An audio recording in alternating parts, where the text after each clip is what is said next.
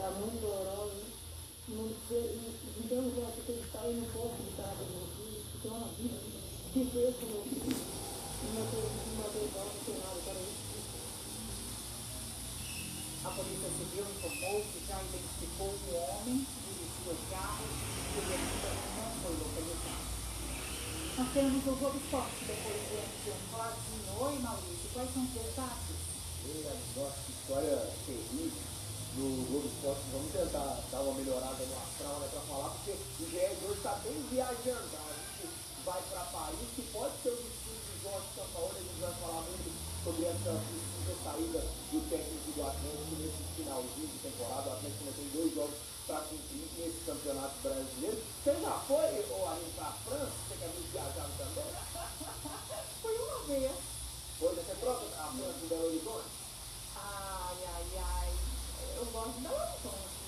Aí eu também não trocava nada. Está tentando descobrir o que, que o São Paulo, o que, que o São Paulo está querendo trocar BH pela França. Tem um jogador do Cruzeiro com identificação com a Bolívia que não é o Marcelo Moreno. A gente conta quem é. É, o meu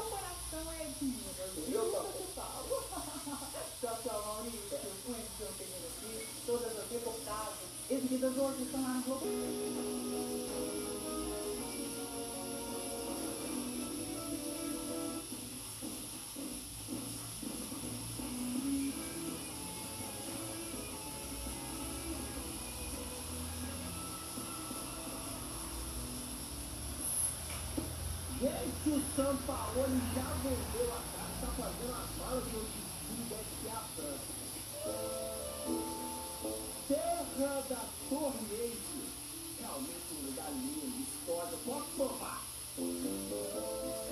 Mas o São Paulo não vai para Paris, não. Ele deve ir uma cidade bem no sul da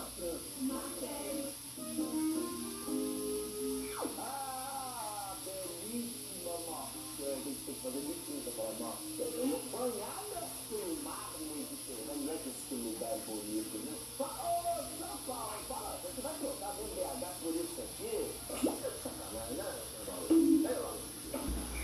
Lá. Tem essa montanha aí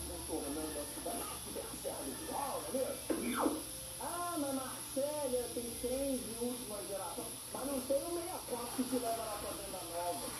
Ah, mas Marcélia tem lá o que passeio de Paris, majestoso, né? Nem se compara o pirulito. Ah, mas lá o É ver. Comparando Belo Horizonte com Paris. Mas não tem aquele da Serra da. Lá não tem tempo, menino. Vamos ver a foto lá do Iguaçu. Do Rio? Tem, fica de gás.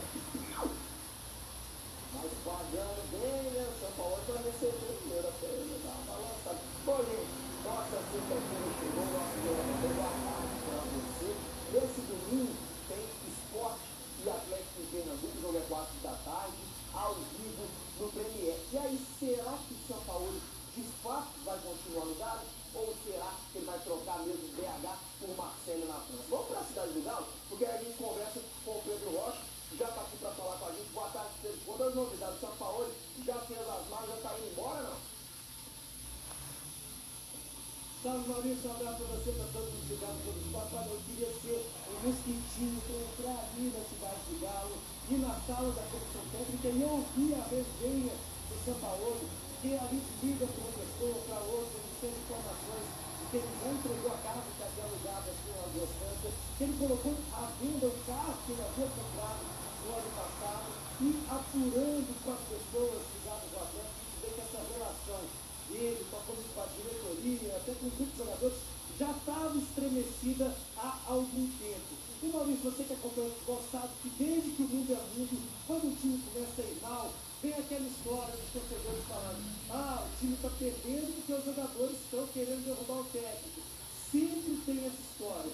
Hoje, o Reza, capitão do Galo, foi perguntado sobre isso. E ele deu uma ótima resposta sobre essas fake news que existem desde que o mundo é. Vamos ouvir.